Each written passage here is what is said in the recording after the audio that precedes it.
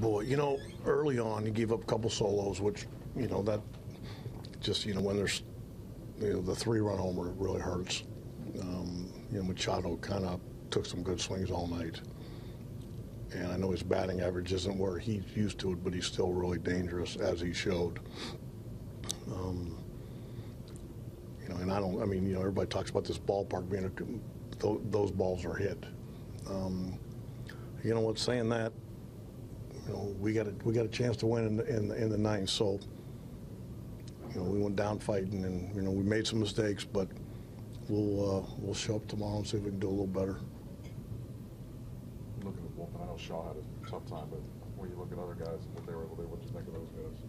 Yeah, I mean, and, and B actually, I mean, he got ahead and, you know, left, probably trying to leave the strike zone a little bit. And, you know, Lonnie's probably too, I think it actually glanced off his glove. So, I mean, it, sometimes there's not much between, you know, good and bad. And then Adam Jones with a nice piece of hit and taking the ball the other way. Lindor uh, getting picked off in his first inning is, is that kind of loom?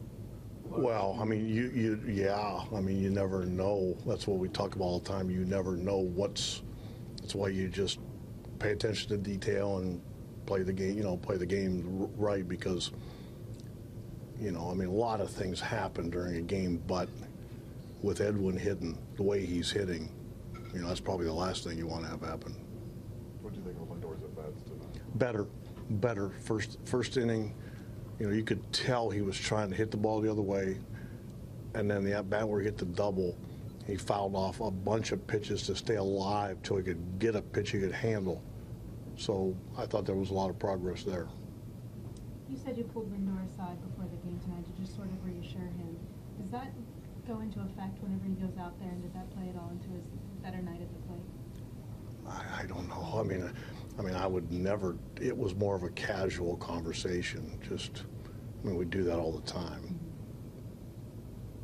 Jerry, the six-game winning streak comes to an end tonight, but overall, when you're looking for the consistency that you want to have throughout the season, you feel pretty, pretty good about what's going on right now. Well, I mean, I, I think we're in a position where, you know, nobody wants to lose, but I don't think this loss will affect tomorrow, and that's, that's good. Um, I also don't feel like going back and talking about six games ago, because that's not what we do.